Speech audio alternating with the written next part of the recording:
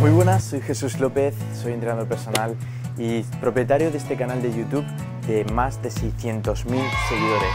Como ya sabréis, llevo años especializándome en el trabajo de los glúteos, no obstante, mi mayor objetivo es que todo el mundo consiga lograr un cuerpo en forma, saludable y que gracias a ello consigan llevar así un mejor estilo de vida.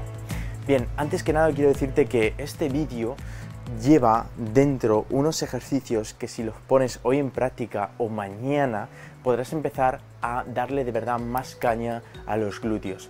Porque déjame que te explique una cosa, el tamaño de los glúteos está muy relacionado con el tipo de ejercicio que realizas con mayor frecuencia, ¿vale? Ya hice un vídeo hablando sobre ejercicios para aumentar la parte superior del glúteo, que es la que da esa forma más redonda, pero hay otro tipo de personas, otro tipo de tanto de mujeres como de hombres que quieren desarrollar los glúteos y eh, principalmente necesitan más trabajo del glúteo mayor y que se realce más la parte baja del glúteo. Y esto suele suceder sobre todo en casos que todavía tienen poco mm, perímetro en el vientre del glúteo, es decir, que no tienen mucha masa muscular en el glúteo y necesitarían pues aumentarlo más de tamaño. Los mejores ejercicios son los que vas a ver aquí a continuación porque trabajan la parte más grande del glúteo y es al final la que visualmente se va a notar más.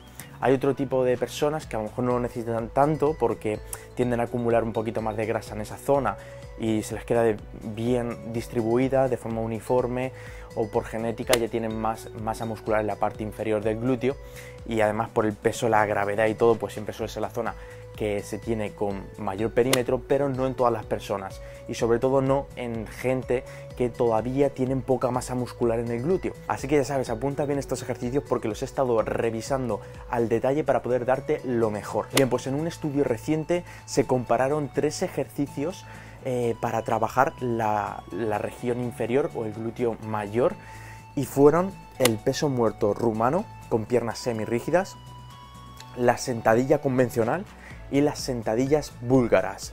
Bien, el ganador por goleada fue la zancada o sentadilla búlgara con barra, aunque podría hacerse también con mancuernas. Pues bien, este ejercicio es el más efectivo para trabajar esa región más inferior del glúteo que estamos buscando. Y es que si lo probáis, incluso realizándolo sin peso, vais a, dar, vais a daros cuenta de que estáis notando cómo se elonga el glúteo, cómo se está estirando y es ahí donde se ejerce mucha fuerza y donde se está trabajando principalmente en ese movimiento, aunque también en la subida, donde realmente se lleva todo el trabajo es en la bajada. Por eso es importante poner un peso que te permita controlar esa fase céntrica, que es un movimiento como hacia abajo y hacia atrás, es como en diagonal, y al subir otra vez como en diagonal, y de esta forma conseguiremos trabajar esa parte del glúteo que nos interesa tanto, que es la que dará un mayor volumen al glúteo. Si quieres saber cómo adaptar este ejercicio en casa, no te preocupes porque he pensado en esa opción y es que podrías hacerlo perfectamente apoyando la pierna en un sofá, por ejemplo, o en una silla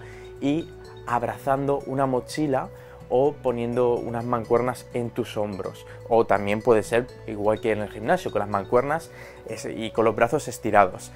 Eso sí, tengo que decirte una cosa, si tú pones el peso aquí delante al hacer este ejercicio y la pierna la pones más pegadita al banco, es decir, la zancada es más estrecha, lo que vas a hacer es enfatizar muchísimo más en el cuádriceps, más que en los glúteos. Así que te interesa alejar un poquito más el pie y que el peso esté o bien con las mancuernas totalmente estiradas al lado de la, de la pierna o con una barra atrás, porque si lo pones adelante con una barra o con una mancuerna, vas a trabajar más el cuádriceps y sobre todo si el pie está más cerca al banco. Quédate con ese dato porque son pequeños detalles que marcan una gran diferencia. Y ya sabéis que a mí me gusta explicarlo todo con su base teórica y luego también con la práctica. No quiero dar solamente ejercicios, hacer estos ejercicios y ya, sino que también que los, que los entendáis y que sepáis el por qué estáis haciendo esos ejercicios. Bien, pues ese para mí es el mejor, por goleada. Luego, ¿qué otro ejercicio se podría realizar también para trabajar esa parte del glúteo, la región más inferior?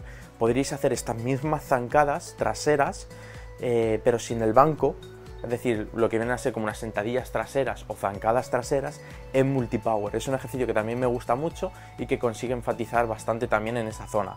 También hay otros ejercicios como por ejemplo si os apetece hacer alguno más en bipedestación o bipodal, mejor dicho, sería una prensa inclinada, ¿vale? Al realizar la prensa podemos poner los pies tanto muy cerradas, las piernas, ¿vale? Dejando eh, los talones muy pegados y como en diagonal, como en V.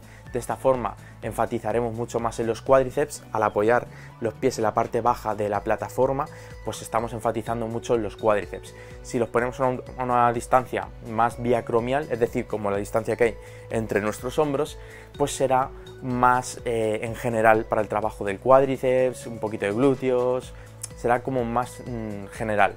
Y si lo ponemos un poquito más separado de lo normal y en la parte más arriba, conseguiremos enfatizar más en la bajada, trabajando mucho más el glúteo y además el glúteo en la región que nos interesa, en la parte más baja del glúteo. Por último, no debes olvidar que las sentadillas también es un buen ejercicio para trabajar esa región inferior del glúteo y además puedes hacer las sentadillas glutificadas, que sería en vez de echar luego la cadera como un poquito hacia adelante para poder bajar más, pues no bajas tanto, sigue bajando bastante, pero no tanto, pero llevas la cadera como un poquito más hacia atrás, como si te fueras a sentar, y de esta manera el glúteo se está elongando más. Además también puedes acompañarlo de colocar la barra un poquito más abajo de lo normal. Esto ya lo explicaré más adelante, pero puedes ver este post de cómo hacer una sentadilla glutificada en la cuenta de Instagram de Megaglúteos.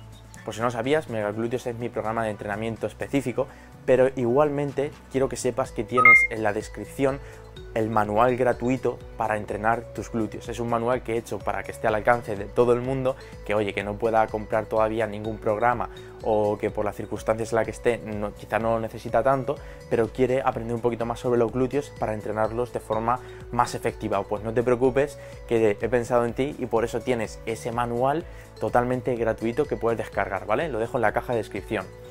Si te gusta este vídeo, la única forma que hay para demostrármela es comentándolo y compartiendo el contenido por tus redes sociales. Solo así veré que se está compartiendo este tipo de vídeos, que va pillando visitas y que interesa seguir dándole caña a este tema. Es la verdad. Nos vemos en próximos vídeos. Hasta la próxima.